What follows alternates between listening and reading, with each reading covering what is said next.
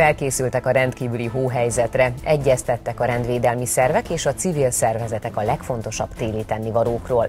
Újrahasználati központ a már megunt, de még használható tárgyak gyűjtőhelye lesz a Kerék utcai hulladékudvar. Állj közénk, négy szakma képviselői mutatták be munkájuk szépségeit Nyíregyházán.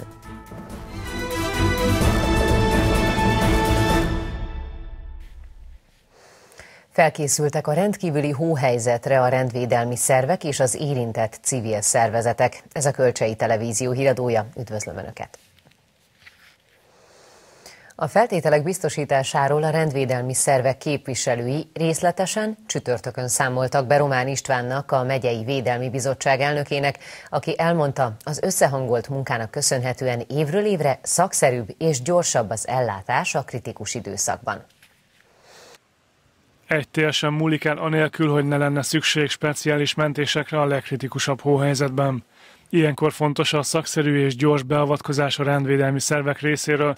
Ennek érdekében a szabolcs már Bereng megyei katasztrófavédelmi igazgatóság részletes átvizsgálást és szervezés rendelte házon belül, hogy probléma esetén készen álljanak a beavatkozásra. A megyei katasztrófavédelmi igazgatóság felkészült a rendkívüli téli időjárási körülményekre. A technikai eszközénket felkészítettük, végrehajtottuk a gépszemléket, minden olyan feladatot végrehajtottunk, akár a téli gumicseréje, vagy a különböző sikosságmentesítő eszközöket a technikai eszközeinkre felpakoltuk, ezeket természetesen szisztematikusan leellenőriztük, a katasztrófavédelem és további 22 rendvédelmi és civil szervezet képviselője csütörtök délelőtt számolt be a megyei védelmi bizottság elnökének arról, hogy mind személyállományban, mind pedig technikai eszközök tekintetében hogyan készült fel a rendkívüli hóhelyzettel járó problémák kivédésére. Román István elmondása szerint az eddigi tapasztalatok alapján az érintett szervezetek jó munkát végeztek. Olyan helyzetek adódhatnak, olyan veszélyhelyzetek, amikor hatékonyan és gyorsan kell ahhoz fellépni, hogy az emberek biztonságáról, illetve az anyagi javakról, védelméről tudjunk gondoskodni. A mai rendezvénynek a legfontosabb célja, hogy azok a szervezetek, akiknek ebben feladatuk van, újra áttekintsék az ezzel kapcsolatos teendőket, mindenki tájékoztatást adjon arról, hogy milyen munkát végzett a felkészülés során. Én azt látom egyébként, hogy azok, akiknek feladata van, felkészültek a téli hóhelyzetre. Nyilvánvalóan lehetnek olyan helyzetek és szituációk, aminek az elhárítása az időigényesebb. Néhány évvel ezelőtt már sor került egy összefogásra, amely által a kritikus időszakban nehezen megközelíthető területeken is gyors ellátást tudnak biztosítani. Ilyen esetben az adott probléma megoldásában legkompetensebb szerv intézkedik, amely megkapja a megfelelő technikai eszközöket az útvonal problémáinak leküzdéséhez.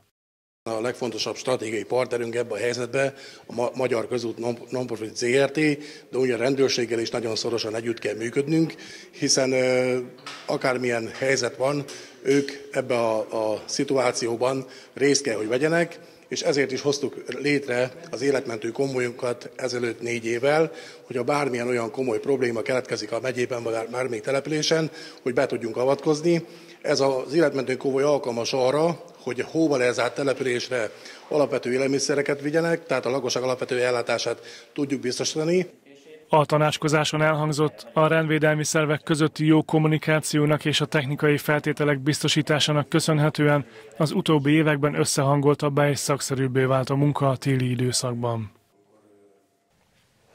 Még idén elkezdheti működését az újrahasználati központ Nyíregyházán, ahová bárki beviheti majd a már megunt, de még használható dolgait.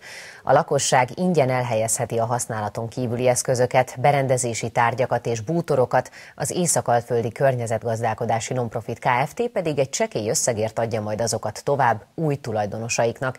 Ehhez hasonló központ még csak Budapesten és Miskolcon működik. A tároló konténerek és rekeszek beszerzése még folyamatban van itt a Kerék utca egy szám alatti hulladékudvarban, de hamarosan itt kezdi meg működését a Nyíregyházi újrahasználati központ. A tervek szerint még idén elindul a szolgáltatás a Tiszavasvári felüljáró alatt. A megunt, de még használható tárgyakat fogadja itt az Észak-Alföldi Környezetgazdálkodási Nonprofit Kft. A társaság célja, hogy a kommunális hulladék mennyiségével együtt a környezetre mért káros hatásokat, illetve a környezetterhelést is lecsökkentsék. A hulladék törvény prioritást ad azoknak a tevékenységeknek a végzésére, amelyek során nem keletkezik hulladék.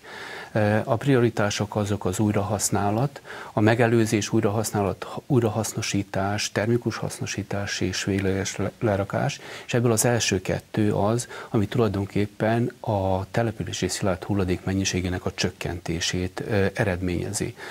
A megelőzés egyik klasszikus példája, az például, hogyha az ABC-be egy vászontáskával megyünk, nem ott kérünk egyszer használatos nylon szatyolt, amit később eldobunk, hanem ezt a, a, a, megvásárolt terméket ebbe a szatyorba rakjuk, és ezt többször tudjuk használni, így lecsökkentjük a feleslegesen keletkező csomagolási hulladék mennyiséget. Az újrahasználat pedig azt jelenti, hogy olyan használaton kívüli eszközöket, berendezési tárgyakat, bútorokat visz a lakosság a központba, amelyeket más még használni tud a későbbiekben.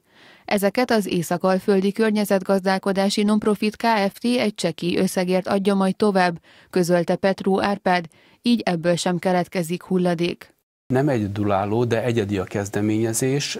Az országban tudomásom szerint csak három helyen működik, Budapesten talán kettő, és Miskolcon most adtak át egy újrahasználati központot, úgyhogy országos viszonylatban is egy újszerű dolog én ilyen antikváriumnak fordítanám le, hogy tulajdonképpen ez úgy működik, mert nem csak a háztartási berendezések és bútordarabok kerülnek átvételre, hanem akár CD-ket, akár könyveket, akár más használati tárgyat is behozhatunk ebbe a központba, természetesen térítésmentesen adhatjuk le a központban, csak az fog majd érte fizetni, aki elviszi ezt, a tárgyat tovább használatra, viszont ezek az ellenértékek is csekény mértékűek, és csak a tárolási költséget és az egyéb apró manipulációs költségeket kell megtéríteni. A központ működése nagyjából olyan, mint egy lomtalanítás. Itt azonban nem rontja a városi összképet és a közterületeket a felhalmozott hulladék látványa, illetve a társaságnak is sok munkát ad a kidobált tárgyak összegyűjtése. Az újrahasználati központ így esztétikailag is egy szebb megoldás. Négy szakma képviselői mutatták be munkájukat több mint 150 megyebeli középiskolásnak a Magyar Kereskedelmi és Iparkamara Áj közénk elnevezésű rendezvény sorozatának szerdai Nyíregyházi állomásán. A program célja a mesterségek megismertetése mellett a szakmák versenyére való toborzás is volt. Szombathely és Kecskemét után Nyíregyházára látogatott el az Álközénk című programfolyam, hogy különböző foglalkozások bemutatásával könnyítse meg a diákok számára a szakmaválasztást. Szerda délután több mint 150 tanuló lett el a Váci Mihály Kulturális Központ harmadik emeletét, ahol négy szakma jeles képviselői adták át tapasztalataikat és mutatták be munkájuk részleteit. Ez a roadshow harmadik állomása, Nyíregyháza. Négy helyszínen kerül megrendezésre ebben az évben az ország különböző területén, és a jövőben különböző szakmákban és más megyékben is szeretnék megjelenni ezzel a roadshow-val. Itt ebben a megyénkben, mi megyénkben szabolcs Bereg megyében a szakács, a pincér, a fodrász, illetve a szárazépítő szakma kerül elsősorban bemutatásra. Az eseményen az építőipart és a szárazépítés szakmáját is népszerűsítette egy cég, amely egészen innovatív ötlettel állt elő a középiskolások figyelmének felkeltése érdekében. Mi a szárazépítéssel olyan rendszereket próbálunk megépíteni, ami egyre népszerűbb jelen pillanatban az építőiparban. Az építőipar fölépít egy vászszerkezetet, amit mi a szárazépítéssel kidíszítünk, illetve funkcionálisan eh, megoldunk. Mi egy kicsit most másképp készültünk erre a kiállításra, ugye nagyon sok fiatal jelenik meg a kiállításon, ezért olyan extrém dolgokat hoztunk a kiállításra, ami nem egészen a szárazépítési rendszerekről szól, hanem extrém dolgokról, amit meg tudtunk valósítani szárazépítési anyagokból. Amit a kiállításon most itt bemutattunk, az egy elektromos gitár, amit egy padló szerkezetből építettünk, és az, lett, az volt a lényeg, és a kisfilm is erről szól, hogy az operaházban eh, kivettük pár órára az operaházat, és ott tulajdonképpen egy ilyen videoklipet forgattunk, száraz építési anyagokból épített hangszereken. Tehát egy kicsit most megfordítottuk a történetet, és az érdekességet hoztuk el a fiataloknak. A program népszerűsíti a szakma kiváló tanulója elnevezésű versenyt is, amelyen középiskolások mérik össze tudásukat saját területeiken. Ezt a vetélkedőt minden megyében megrendezik, az országos döntőre Budapesten kerül majd sor, a legsikeresebb fiatalok pedig a Euroskills nemzetközi versenyen is képviselhetik az országot. Tíz középiskolás csapat mérte össze tudását a For for Europe verseny regionális döntőjén a megyeházán. A diákok Európai Uniós ismereteikről adtak számot a vetélkedőn. A zsűri a lexikális tudás mellett a kreativitásukat is értékelte. Nyíregyházát a Krúdi Gyula gimnázium képviselte három regionális döntőbe jutott csapattal. Később megismerték egymást egyre jobban szívük az Európai Egységnél Bianca az unió koronázatlan királynője. Versenyeken egyszerűen reszketnek tőle. Lettit jellemzi a figyelem végtelen tárháza, memóriáját bájos mosolyával. Így mutatkozott be a Debreceni Fazekas Mihály Gimnázium Foszfor csapata a For for Europe verseny regionális vetélkedőjén. A megmérettetésnek már hosszú éves hagyománya van. A Europe Direct információs hálózat, az Európai Bizottság Magyarországi képviselete és az Európai Parlament Magyarországi kapcsolattartó irodája minden évben megszervezi az uniós ismeretekre építő versenyt. Összesen 252 csapat jelentkezett, az észak-alföldi régióra szűkítve 41 csapatból 10 jutott be a regionális döntőbe. Ők egy online fordulón már túljutottak. Nagyon tetszett, mivel több helyen, tehát nem csak egy kategóriában tudtuk megmérettetni magunkat, tehát egy videót kellett készítenünk, különböző teszteket kellett megoldani, és ezért ilyen, mivel ilyen sokszínű volt, azért jól szerepeltünk. A csapatban az osztálytársaimmal indultunk, és a lényege igazából, amiért jelentkeztünk, az az, hogy jobban megismerkedjünk az uniós rendszer, unió rendszerével, unió feladatával, meg hogy milyen szerepet tölt be az életünkben. A szervezők tapasztalata az, hogy a diákok nem sokat tudnak az unió működéséről és intézményeiről. Általános iskola hetedik osztályában tanulnak először erről, de olyankor csak egy órában, majd középiskolában kerül elő még egyszer a témakör, illetve az érettségi tételek között szerepel. A versenyen résztvevő tanulók azonban jóval átlagfeletti tudással rendelkeznek az Európai Unióról. Ha azt mondjuk, hogy Európai Uniós ismeretek, az úgy kicsit száraznak tűnő, hiszen olyan fogalmakkal kell megismerkedni, ami mindennapokban nem nagyon van jelen. Ezek a gyerekek viszont, akik már idáig eljutnak, fontos, hogy kreativitással rendelkezzenek, és rendelkeznek is. Hihetetlen jó tapasztalataim vannak. A száraz uniós szavakból ők mondjuk még verset is tudnak fabrikálni, vagy most például érvelniük kell az euró mellett, szintén különböző szavakból. Tehát megmutatkoznak minden oldalukról. A regionális döntőkön első helyezett csapatok és felkészítő tanáraik egy ötnapos horvátországi kirándulást nyernek. Az országos döntő első helyezett csapatának osztálya és felkészítő tanárai pedig egy Strasburgi tanulmányúton vehetnek részt a tanév második felében. Négyen kaptak nemzeti felsőoktatási ösztöndíjat a Nyíregyházi Egyetemen. Az elismerés részeként havi 40 ezer forint támogatást kapnak a hallgatók a szorgalmi időszakban, vagyis 10 hónapon keresztül. Az elismerésről szóló okleveleket csütörtök délelőtt adták át az egyetem rektori hivatalában. Az ösztöndíjat Nyíregyházán maximum 10 kaphatják meg, olyanok, akik tanulmányi, közéleti és tudományos munkájukkal is kiemelkedőek. Nagy örömünkre szolgál, hogy újra négy hallgatón kapta meg a Nemzeti Felsőoktatási Ösztöndíjat, ez régi nevén köztársasági ösztöndíj, talán így a nézők jobban be tudják azonosítani. Három osztatlan tanárszakos hallgatónk és egy gazdálkodás és menedzsment szakos hallgató kapta meg. Ez azért nagy öröm, mert ide csak a kiválóak pályázhattak, nagyon jó tanulmányi eredmény, tudományos és közéleti tevékenység szükséges hozzá. Az elismerés elnyeréséhez legalább négyes átlag szükséges, de emellett különböző konferenciákon, tudományos diákköri konferencián és versenyeken is részt kell venniük a hallgatóknak. Jelentősen emelik a bölcsödei dolgozók jövedelmét, írja hvg.hu a magyar közlönyben megjelent kormányrendelet alapján.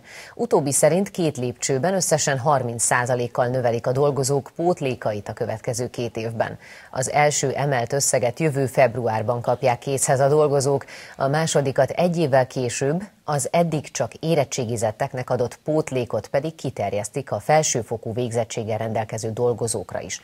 Emellett pedig bevezetnek egy új pótlékot a dajkák számára, amely jövőre 12 és 120 ezer, 2021-től pedig 18 és 205 ezer forint között változhat a szolgálati időtől és a fizetési besorolástól függően. Többet vihetnek azok a bölcsödei nevelők és gyógypedagógusok is haza, akik sajátos nevelési igényű gyermekeket látnak el.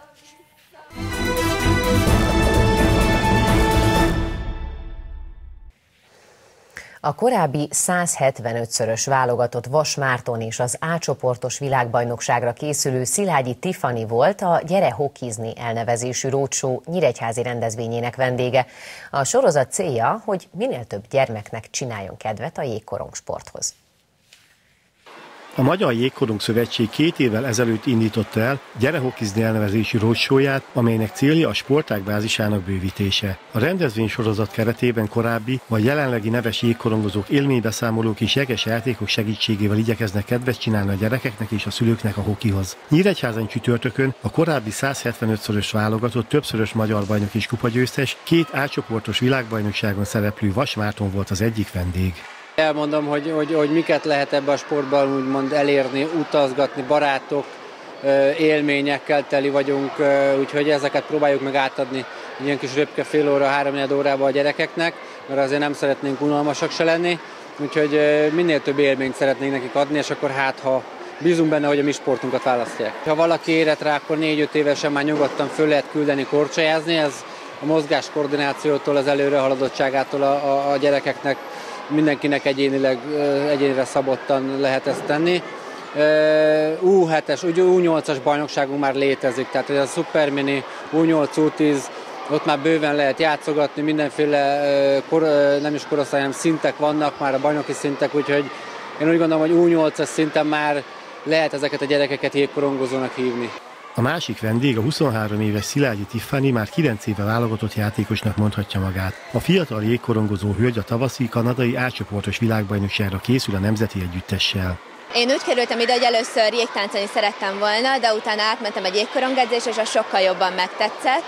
Igaz, hogy a szüleim először ugye nem voltak elragadtatva arra, hogy a kis szőke kislányuk az majd ide a jégen lesz, és az ütközéseket látták először, de hát a végére a családom a legnagyobb rajongója lett ennek a sportnak, az összes edzést, az összes meccset végigülik, úgyhogy egyébként nekem van még két hugom is, és mind a kettő jégkorongozik, úgyhogy nálunk ez így bejött egy ilyen családi biznisznek. Nagyon-nagyon sok élményt kaptam, és tényleg nagyon-nagyon sok pozitív emlékem van ebből a jégkorongból, és szerintem még lesz is, pedig most egyébként egy kicsit ilyen göröngyös út volt mögöttünk, és tényleg a tavalyi világbajnokság után, hogy azt megnyertük, szerintem minden, minden perce megérte, amit akár fel kellett áldozni a saját civil életünkből is, például gondolok itt iskolai bálokra, farsangokra, amiket nem igazán tudtunk részt venni, mert inkább edzettünk, de minden megérte.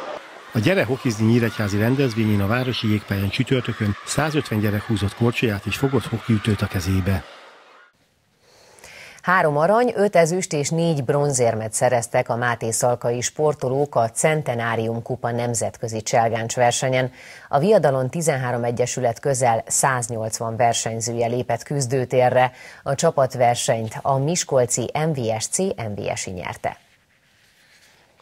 A Máté Szalkai MTK ebben az évben ünnepli alapításának századik évfordulóját, amelynek apropóján az Egyesület szakosztályai rangos versenyeket tisztelednek a centenárium előtt. Az MMTK cselgány szakosztályának képviselőin kívül még 12 klub versenyzői léptek Tatamire azon a viadalon, amelyet egy ukrajnai egyesület részvételetett nemzetközivé. Két korosztályban közel 180-an mérték össze tudásukat a városi sportcsarnokban. A Máté Szalkai MTK 100 éves évfordulójának tiszteleteljes és méltó megünneplésére a Máté Szakai Judo szakosztály szeretett volna részt venni a rendezvény sorozatban, ami a centenő évet öleli fel. ezért ennek keretein belül rendeztük meg a Állam Kupa judó versenyünket, diák és gyermekkorosztály részére. A tíz év alatti gyerekeknek egy játékos vetékedőt szerveztünk. Szerettünk volna a gyerekeknek egy versenyzési lehetőséget biztosítani és felkészülési lehetőséget a magyar bajnokságokra. Máté Szalkai színekben 12 versenyző indul. 1973-ban voltak az első Máté Szalkai edzések Cibola József alapításával, és hivatalosan 1978-ban lett a Máté Szalkai MTK szakosztály, amely napig is egy sikeresen működő egyesületről beszélünk. Mint Batiz István elmondta, a sportágok között nagy a rivalizálás a gyerekekért, aki viszont a judót választja, többet kap egy egyszerű sportágnál. A judó az eleve önfegyelemre tanít, azok a gyerekek, akik edzésre járnak, ugye fegyelmezettebb lesznek, kitartóbbak lesznek, megtanulják a küzdelmekbe a vereséget elviselni, megtanulnak győzni, és megtanulnak emberré válni. A hazaiak közül hárman szereztek aranyérmet, Kis Boldizsár, Dobos Gábor és Máté Mózes Áron a dobogó legmagasabb fokára állhatott fel. Mellettük öt ezüst és négy bronzérem került Máté Szalkai versenyző nyakába. A csapatversenyt a Miskolci MVSC MVS nyerte a Debreceni Sportiskola és a Salgótarjáni Görbeország előtt. Híradunk végén lássuk a legfontosabb híreket még egyszer néhány mondatban. 23 rendvédelmi és civil szervezet képviselője számolt be a Szabolcs-Szatmár-Bereg megyei Védelmi Bizottság elnökének arról, hogy mind személyállományban, mind technikai feltételek biztosításában hogyan készültek fel az esetleges téli rendkívüli hóhelyzetre. A katasztrófavédelem igazgatója a tanácskozáson arról tájékoztatott, minden eshetőséggel számoltak. Újrahasználati központ nyílik hamarosan Nyíregyházán is. A Kerék utcai hulladék udvarban lehet majd leadni azokat a használaton kívüli eszközöket, berendezési tárgyakat és bútorokat, amelyek mások számára még értékesek lehetnek. Az Észak-Alföldi Környezetgazdálkodási Nonprofit Kft. pedig egy csekély összegért adja majd azokat tovább új tulajdonosaiknak.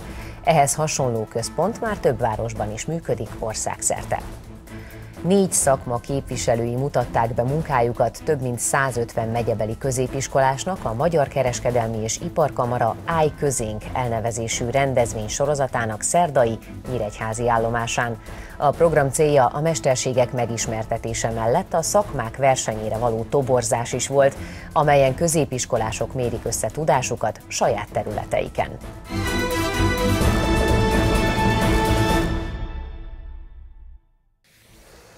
Önök a Kölcsei Televízió híradóját látták november 21-én csütörtökön. Friss hírekkel legközelebb holnap este várjuk majd Önöket. Tudósításainkat addig is visszanézhetik a weboldalunkon.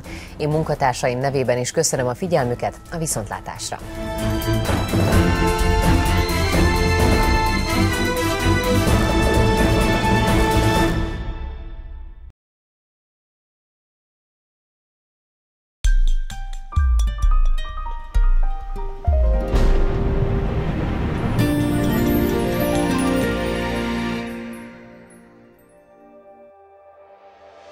Fronthatás most nem terheli szervezetünket. Péntek reggelig gyakran lesz erősen felhős az ég, éjjel gyenge eső, záporeső elszórtan előfordulhat. A keleti szél helyenként megélénkül, a reggeli órákra 5-6 fok köré hűl le a levegő. Napközben is sok lesz a felhő fölöttünk, az esernyőkre is szükség lehet időnként. A legmagasabb nappali hőmérséklet 10 és 12 fok között alakul. A folytatás már barátságosabb időt ígér, a hétvégén, illetve a jövő hét elején nyugodtabb, alapvetően szárazabb időre van kilátás, de a napos területek mellett lesznek tartósabban borult, ködös vidékek is. Számottevő csapadék nem várható, legfeljebb ködszitálás fordulhat elő. Kissé csökken a nappali felmelegedés mértéke, és éjszaka egyre több felé várható fagy.